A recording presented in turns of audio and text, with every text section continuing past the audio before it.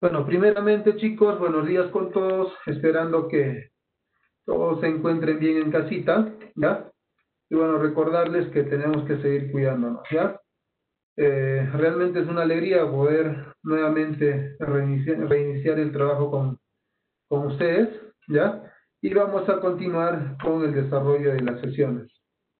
Eh, Estuvimos trabajando todo en referencia a compuestos binarios, ¿no es cierto? Vimos los compuestos binarios con oxígeno, dentro de ellos a los óxidos, a los peróxidos y a los superóxidos, ¿ya? Eh, más o menos ya tienen idea cómo es que se em, formulan los hidruros, que son compuestos binarios con hidrógeno, ¿ya? Eh, ya que lo han visto eh, en las diapositivas de la clase anterior. Pero sin embargo vamos a hacer un repaso rápido para que lo puedan entender de mejor forma. ¿ya? Cuando nosotros hablamos de hidruros, vean, cuando nosotros hablamos en referencia a los hidruros, estamos refiriéndonos a aquellos compuestos binarios, ¿ya? Son compuestos binarios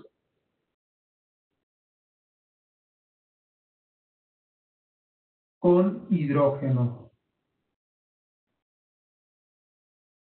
¿Ya? Compuestos binarios con hidrógeno. Y vamos a ver que dentro de los hidruros vamos a conocer que hay dos, dos grupos todavía de hidruros. Aquellos denominados como hidruros iónicos, ¿ya? O metálicos, y los hidruros covalentes o no metálicos, o moleculares o no metálicos, ¿ya? Entonces hablamos en referencia a los hidruros, a los hidruros iónicos o metálicos, ¿no es cierto? hidruros iónicos o metálicos y hablamos en referencia a los hidruros covalentes, lo podemos llamar también como moleculares,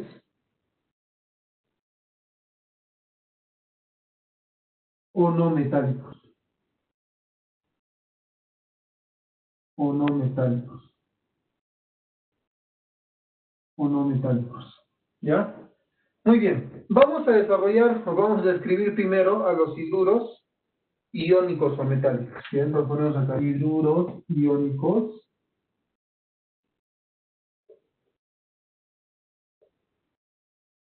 iónicos o metálicos. Estos hidruros iónicos o metálicos, chicos, como su nombre nos dice, en los hidruros, en los hidruros iónicos o metálicos. Ah, ya, los hidruros que son compuestos binarios con hidrógeno. ¿Qué quiere decir? Que en la estructura estos van a presentar hidrógeno. Muy bien. Ponemos al hidrógeno. Pero este hidrógeno se va a combinar con quién nos dice, si son hidruros metálicos. ¿Con quién se va a combinar? Chicos, ¿con quién se va a combinar si son hidruros metálicos? Con un metal. Con un metal, ¿no es cierto? Se va a combinar con un metal ponemos un metal. Por regla general, chicos, recordando aquí, los metales, ¿qué tipo de números de oxidaciones presentan? ¿Qué tipos de números de oxidación presentan los metales? ¿Cómo son los números de oxidación de los metales, dijimos? Chicos, chicos, el número de oxidación de un metal siempre va a ser positivo cualquiera que sea. Ponemos acá más N. Si el número de oxidación del metal ya es positivo, ¿qué número de oxidación le toca tener al hidrógeno para que estos se puedan unir, se puedan atraer? Chicos, negativo. Ya, muy bien. Y profesor, ¿cuál es el número de oxidación negativo del hidrógeno? El número de oxidación negativo del hidrógeno es menos uno. Vean. Allá, ¿qué quiere decir? Que en el caso de los hidruros metálicos o los hidruros iónicos, el hidrógeno, ¿con qué número de oxidación está trabajando?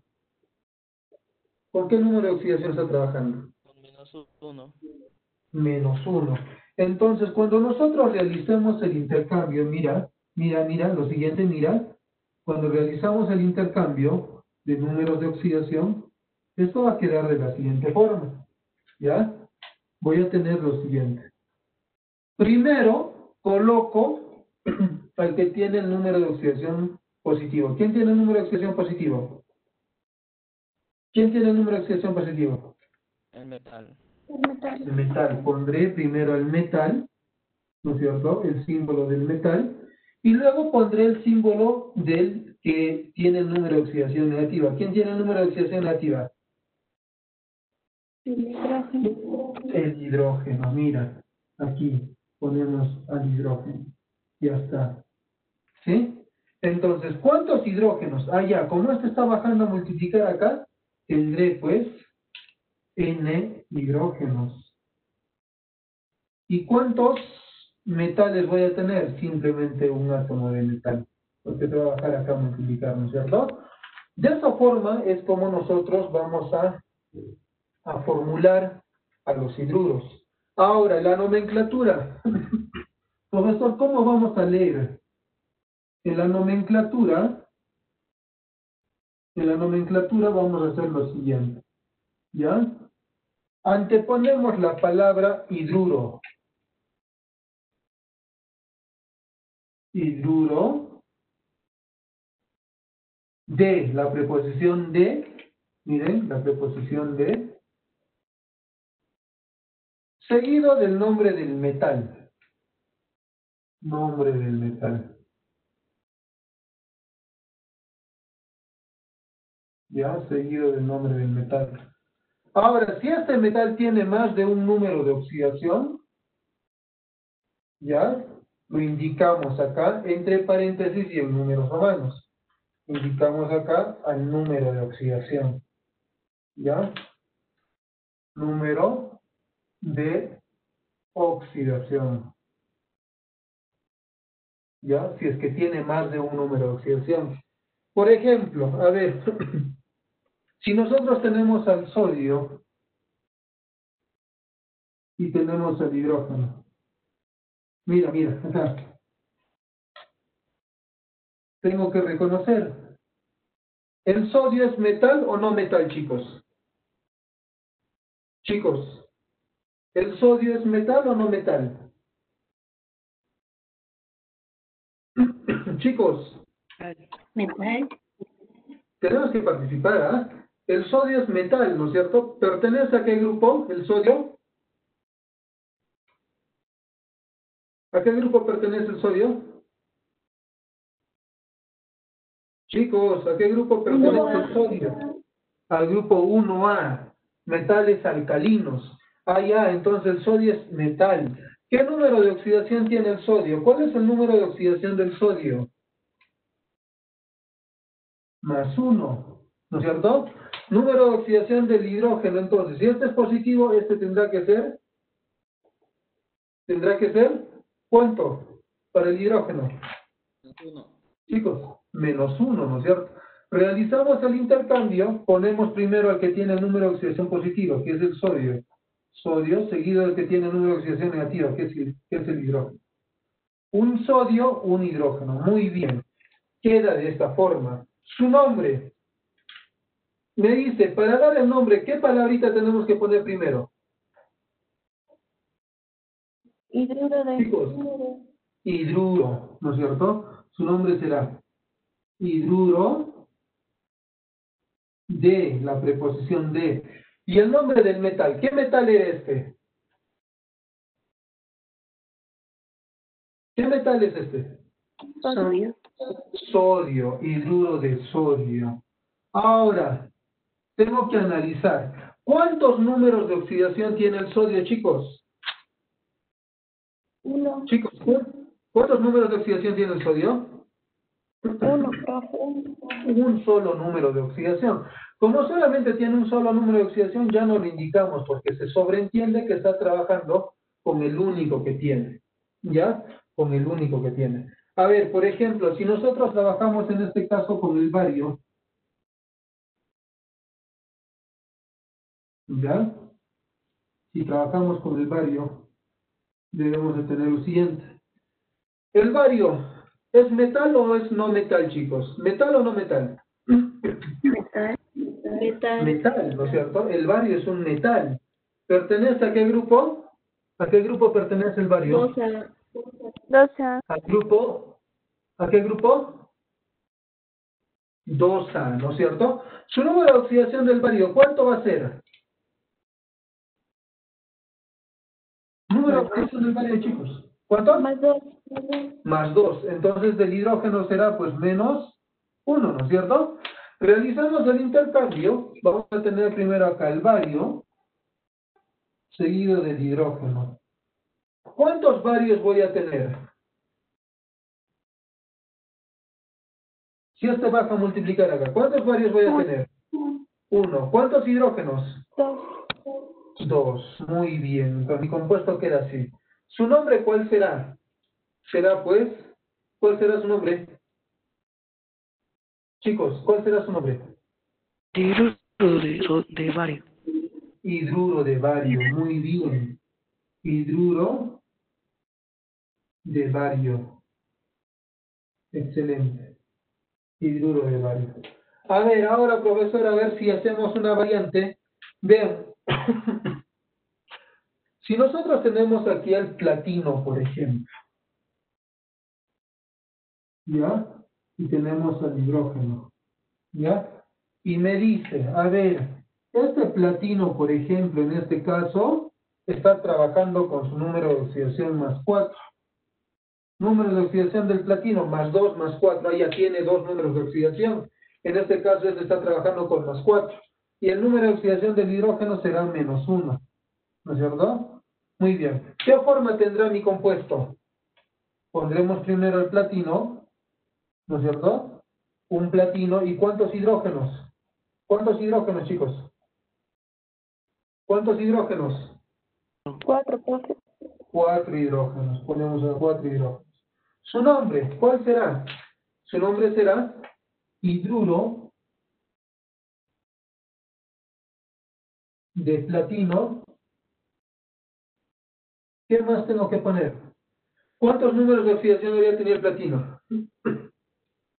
Chicos, ¿cuántos números de oxidación debería tener el platino? Cuatro. No, no, ¿cuántos números de oxidación? Tiene dos, que es más dos y más cuatro. ¿No es cierto? ¿Con cuál de los dos está trabajando acá? Más cuatro. Con más cuatro. Entonces tendré que indicar entre paréntesis y en números romanos, como me dice en este caso. Hidruro de platino, cuatro. Ya está. Así.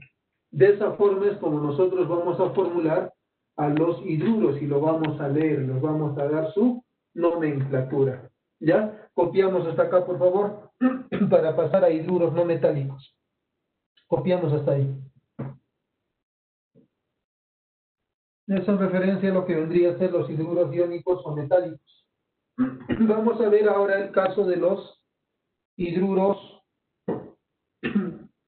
covalentes, moleculares o no metálicos, ¿ya? Nos vamos a ver aquí.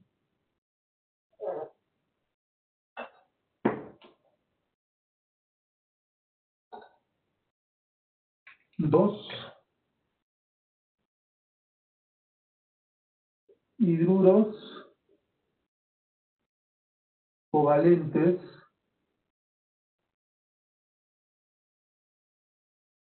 moleculares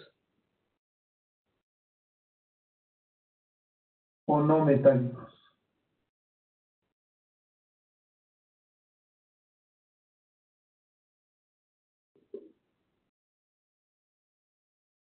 Como su nombre lo dice, ¿no es cierto? Hidruro. Hidruro es un compuesto binario que, está formado por hidrógeno, ¿no es cierto? Que contiene hidrógeno en su estructura.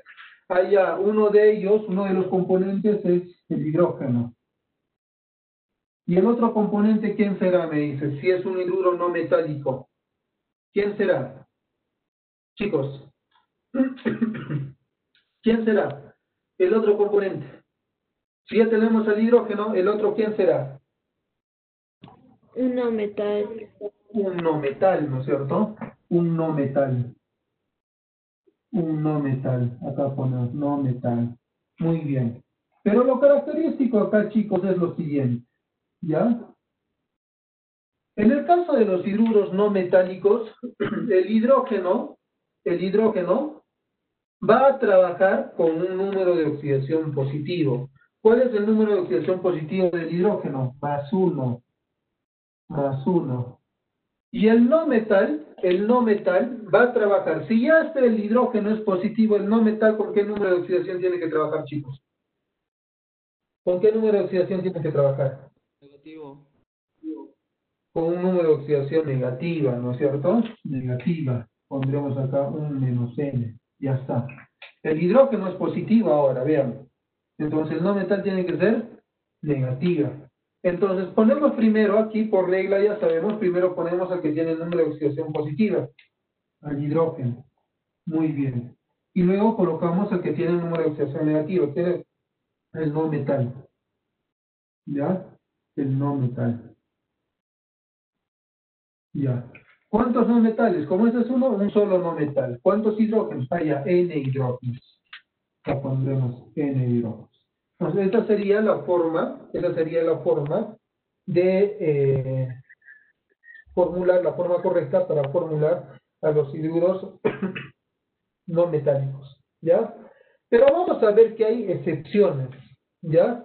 Hay ciertas excepciones, ¿ya? Entonces vamos a poner acá, existen excepciones. Tenemos ahí, existen excepciones.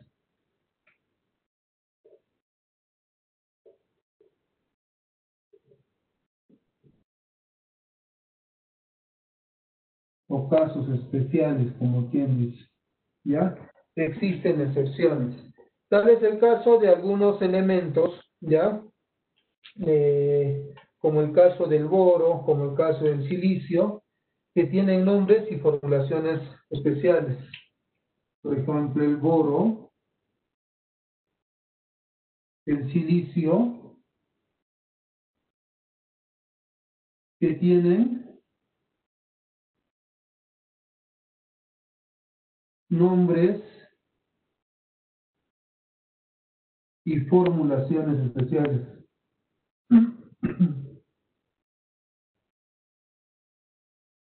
¿Ya? Formulaciones especiales. Y algunos elementos también, vamos a ver aquí que también vamos a considerar algunos elementos que van del grupo 3A, del grupo 3A, hasta el grupo, del grupo 3A hasta el grupo 7A.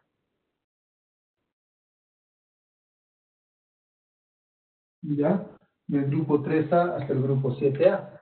Entonces vamos a considerar lo siguiente. A ver, vamos a trabajar con el boro. ¿Ya? Vamos a trabajar con el boro. Vamos a tratar el caso del boro. A ver, trabajamos con el boro.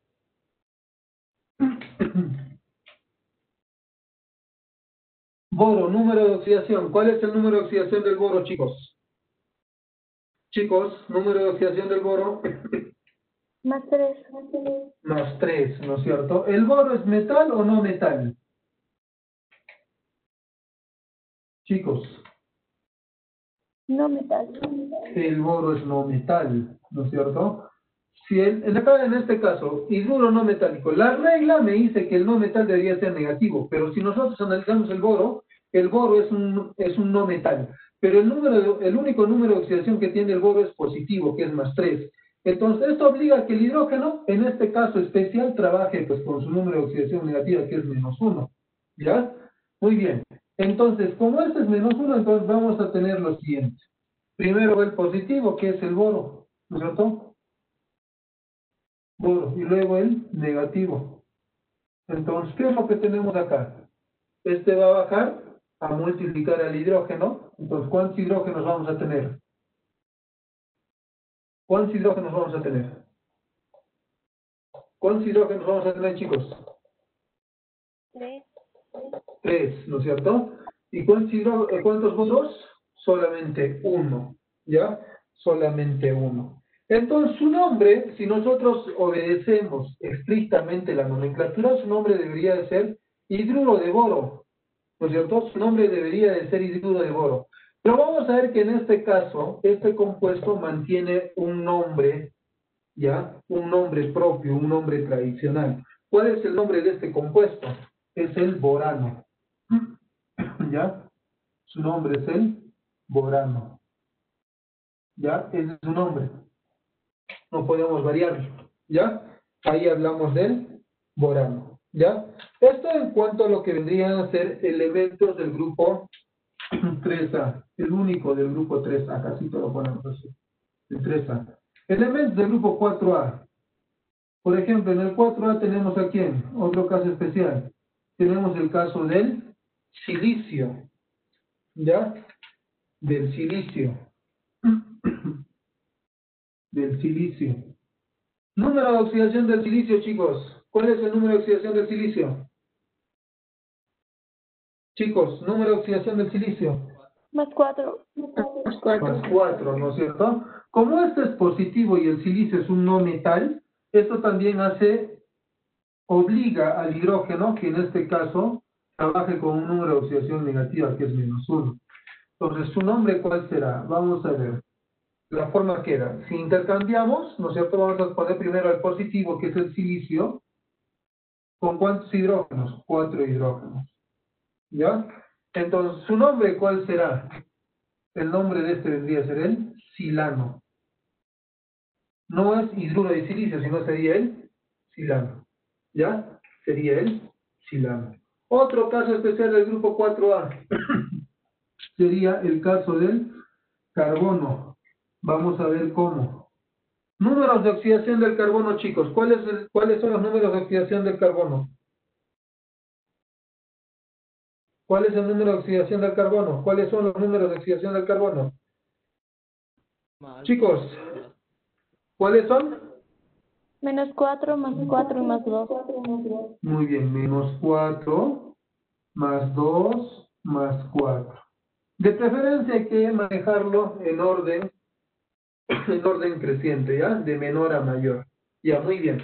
Entonces, vean, para formar hidruro, se supone que este carbono tiene que actuar con su número de oxidación negativa. Muy bien, ¿ya? Trabajamos con el carbono, su número de oxidación negativa, que es menos 4, porque así me dice la regla, el no metal tiene que ser negativo. Muy bien. Y a este carbono con menos 4 le voy a, lo voy a combinar con el hidrógeno. El hidrógeno que en este caso va a tener número de oxidación positiva, más 1. ¿Ya?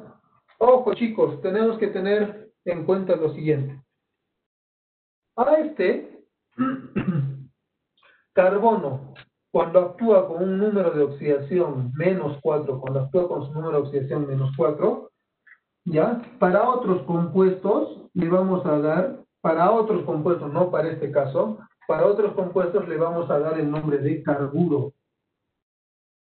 ¿Ya? El nombre de carburo. ¿Cuándo es carburo? Cuando el carbono actúa con su número de oxidación negativa, que es menos 4. ¿Ya? En este caso no. ¿Ya? En este caso no va a formar carburo hidrógeno, no. Vamos a ver qué tipo de compuesto nos va a formar. ¿Ya? Vean.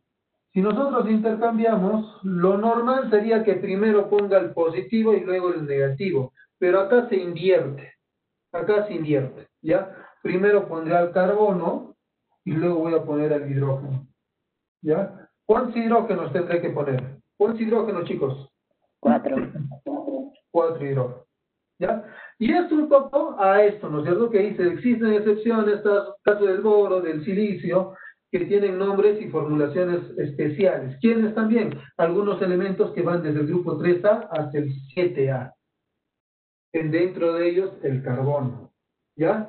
Entonces, vean, el nombre de este compuesto debería de ser carburo de hidrógeno, ¿ya? Pero su nombre ya queda definido como metano.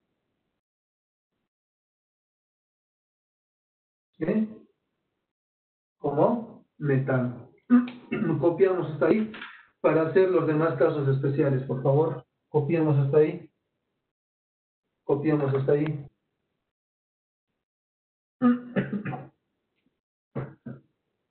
Pues, a ver, reanudamos, ¿ya?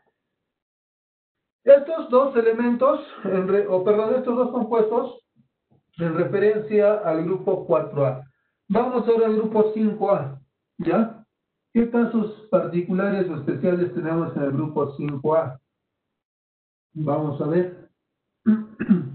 En el grupo 5A, ponemos acá en el grupo 5A, tenemos el caso, por ejemplo, del nitrógeno. Chicos, números de oxidación del nitrógeno, ¿cuáles son? ¿Cuáles son los números de oxidación del nitrógeno?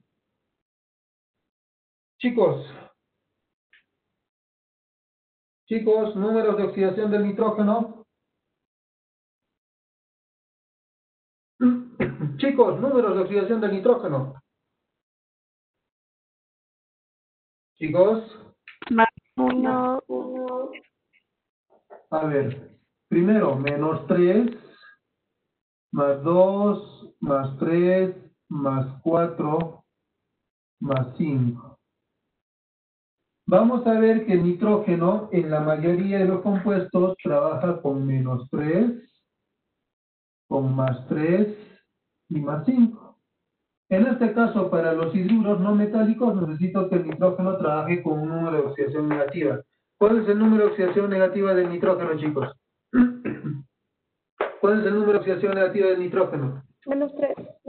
Menos 3. Entonces trabaja nitrógeno menos 3, ¿no es cierto? Va a trabajar con el hidrógeno más 1. Ya está. Muy bien.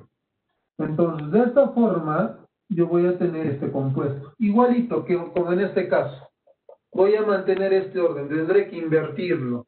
Primero pondré acá el nitrógeno. Un nitrógeno, ¿no es cierto? Un nitrógeno. ¿Y cuántos hidrógenos? ¿Cuántos hidrógenos tendré que poner ahí? ¿Cuántos hidrógenos, chicos? ¿Cuántos hidrógenos? Tres. Tres. ¿Ya? Tres hidrógenos. Muy bien. Nombre de este compuesto. Ah, ya. ¿Cuál es el nombre de este compuesto? Su nombre es amoníaco o azano. Cualquiera de esos dos nombres es válido para este compuesto. Amoníaco o azano. ¿Ya? Muy bien. ¿Qué otro, qué otro compuesto especial puedo formar en el grupo 5? 5A. Tenemos el caso del fósforo, ¿ya? Otro caso especial también es el caso del fósforo, vean. ¿Ya?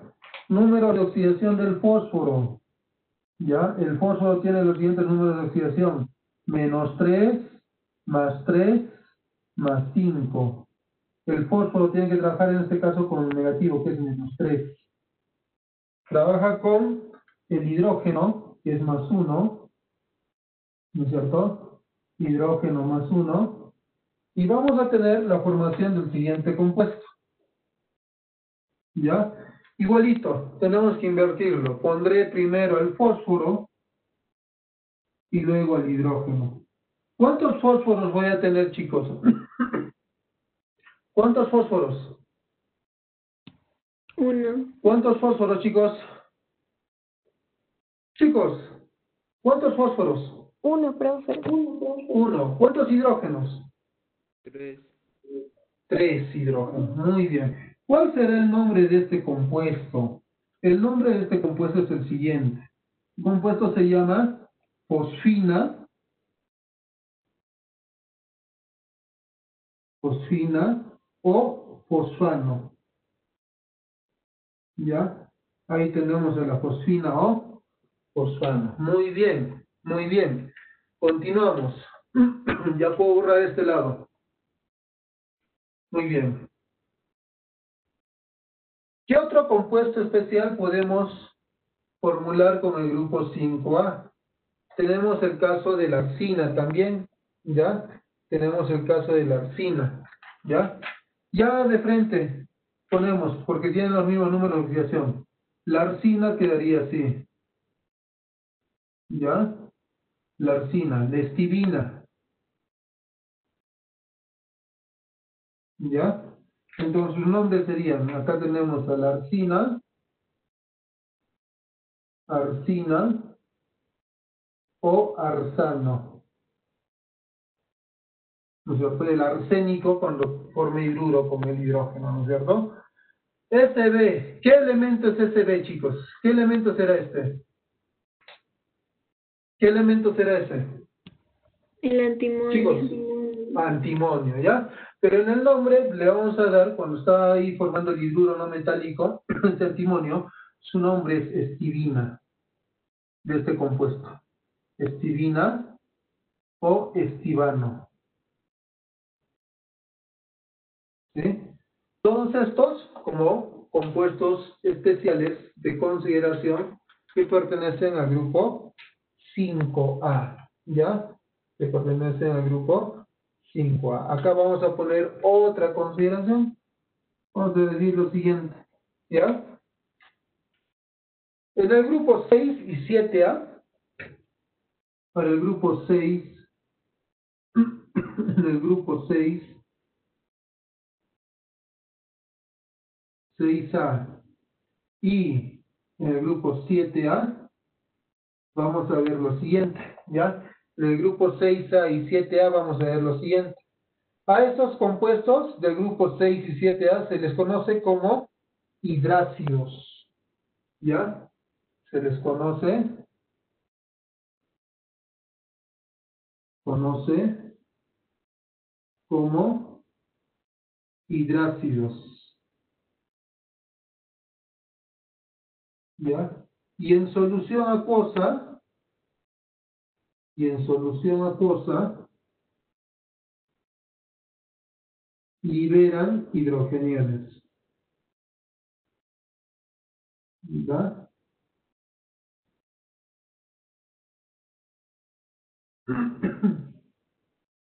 liberan hidrogeniones. En solución acuosa liberan hidrogeniones. A ver, copiemos hasta ahí para que yo pueda usar el otro lado para explicar el caso de eh, hidruros con el grupo 6A y 7A. Hidruros no metálicos con el grupo 6A y 7A. Copiamos hasta ahí, por favor, chicos. Muy bien, chicos. Entonces vamos a ver cómo es que se trabaja con eh, elementos o cómo es que vamos a formar hidruros con elementos del grupo 6 y 7A. ¿Ya? Por ejemplo, si nosotros hablamos el caso de elementos del grupo 6A, ¿ya? El caso de elementos del grupo 6A.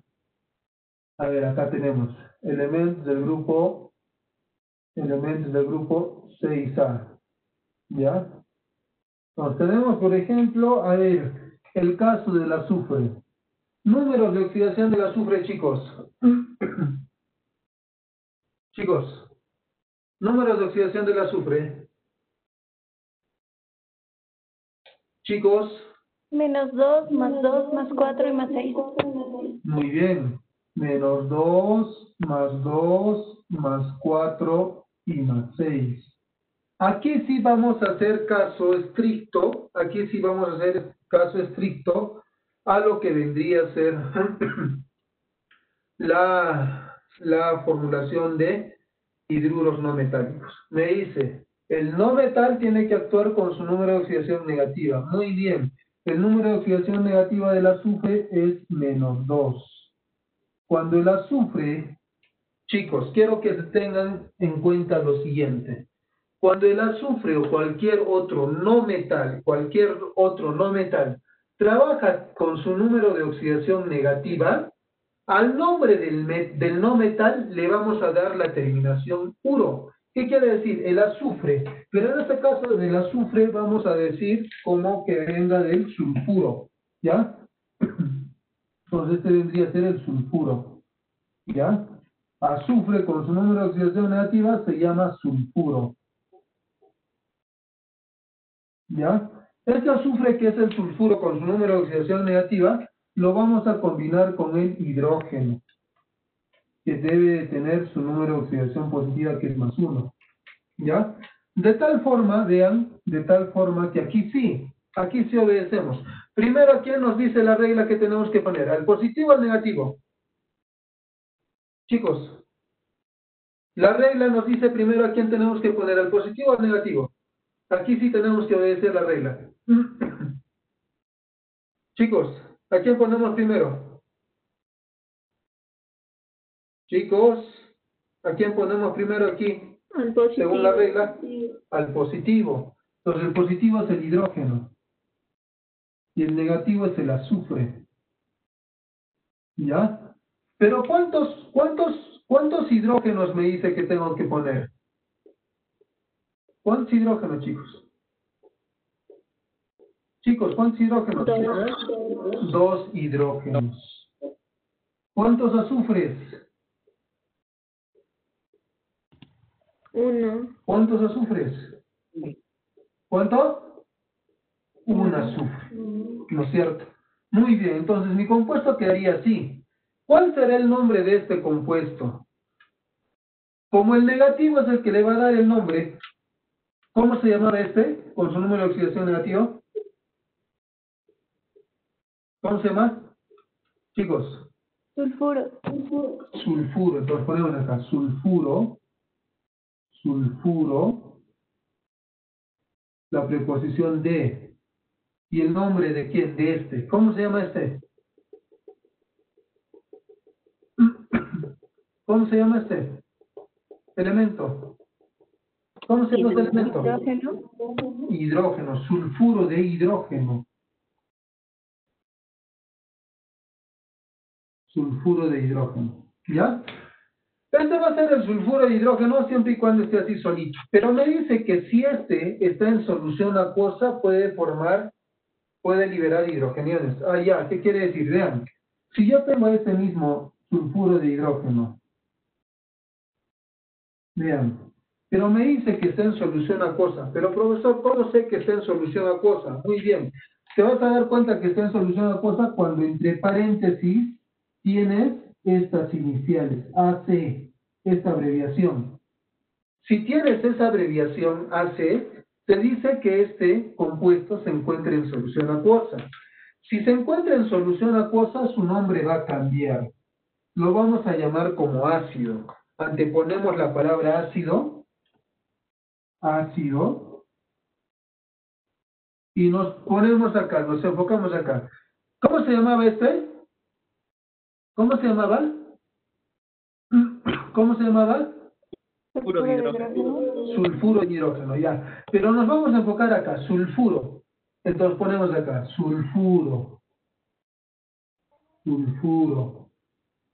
Pero vamos a cambiar la terminación. En vez de darle la terminación uro, cuando esté en, en, solución acuosa, le vamos a cambiar esa terminación por esta otra, que es hídrico. Ah, ya, entonces, en solución acuosa, este compuesto, ¿cómo se llama? A este sulfuro de hidrógeno, ¿con qué otro nombre lo voy a llamar en solución acuosa? Ácido sulfídrico. ¿Ya? Ácido sulfídrico. Lo mismo con cualquier otro, con cualquier otro, esto compuesto del grupo 6A. ¿Ya? Por ejemplo, si nosotros tenemos la misma forma, el caso del eh, selenio, si está así solito, por ejemplo, si está así solito, este se llamará pues seleniuro de hidrógeno. Ya su nombre será seleniuro de hidrógeno. Seleniuro de hidrógeno. ¿Ya? Ahora, si este mismo se encuentra en solución acuosa, vean, me dicen solución acuosa, en solución acuosa, ¿cuál será su nombre? ¿Cómo lo leeré? En solución acuosa, chicos. ¿Qué palabra ponemos primero? En solución acuosa. Ácido. Ácido. Ácido. Luego, ¿qué sigue? Allá, el nombre que tenía eh, la terminación uro, seleniuro, pero voy a omitir la terminación uro y lo voy a cambiar por quién. ¿Por quién lo, lo cambio? ¿Por qué terminación lo cambio? Hídrico, hídrico. entonces será ácido selenídrico.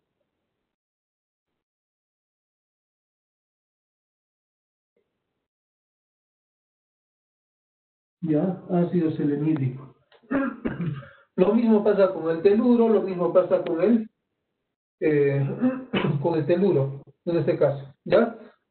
Ahora, para eh, elementos del grupo 7A, para elementos del grupo 7A, vamos a ver lo siguiente. Es lo mismo, ¿ya? Para elementos del grupo 7A. Por ejemplo, hablamos del, del cloro, ¿ya? Hablemos primero el caso del flúor, ¿ya? Del flúor. Número de oxidación del flúor, menos uno, ¿ya? Menos uno. Entonces, este flúor se combina, vean acá, se combina con el hidrógeno, más uno. Entonces, vamos a tener este compuesto, ¿ya? Vamos a tener hidrógeno primero, y flúor después, uno a uno, ¿no es cierto? ¿Cuál será su nombre? Si nosotros obedecemos la regla, sería, ¿no es cierto?, el fluoruro de hidrógeno. Fluoruro de hidrógeno. Hemos dicho bien claro, ¿no es cierto? Cualquier no metal con su número de oxidación negativa le va a dar la terminación uro, fluoruro de hidrógeno. Muy bien. Pero si este mismo se encuentra en una solución acuosa, vean, si este se encuentra en solución acuosa, es lo mismo. ¿Cómo lo vamos a llamar? Anteponemos la palabra ácido y a este fluoruro, en vez de la terminación uro, le vamos a dar que terminación. Muy bien, ácido fluorhídrico. Fluor hídrico. Muy bien. A ver, ¿qué pasa con el caso del cloro? El cloro, números de oxidación del cloro, tenemos menos 1, más 1, más 3, más 5, más 7. ¿Con cuál me interesa trabajar acá para formar hidruro? Con el cloro. Chicos, ¿con cuál me interesa trabajar? ¿Con cuál de estos números de oxidación me, interesa trabajar? Menos uno. Con menos uno, ¿no es cierto? Con menos uno. Tendremos acá cloro menos uno, actúa con el hidrógeno más uno, ya está. Vean. Y vamos a tener el siguiente compuesto. Ponemos primero el hidrógeno y luego el cloro. Uno, uno, ¿no es cierto? ¿Cuál será su nombre de este? Su nombre será, vean, cloruro de hidrógeno, cloruro, cloruro de hidrógeno. ¿Ya? Ahora, si yo tengo este mismo, este mismo, pero en solución acuosa, así, con esa abreviación entre paréntesis AC, cambiamos su nombre. ¿Cómo se va a llamar ahora? Anteponemos la palabra ácido ¿no es cierto? A esta terminación uro del cloruro lo cambio por hídrico. ¿Y cómo queda? Ácido clorhídrico.